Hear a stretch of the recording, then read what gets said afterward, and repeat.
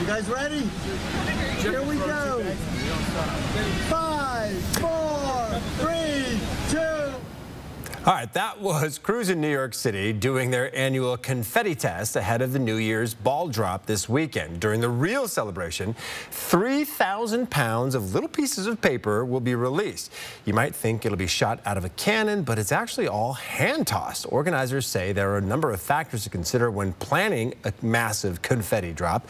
Everything from wind speed to how big each handful should be. And a fun fact, the paper itself is shredded from messages written at the Wishing Well this week, with visitors noting their hopes for 2024. Some mention love, others world peace. Aww. I didn't know any, any of those things, That's so that's really kind of cool, right?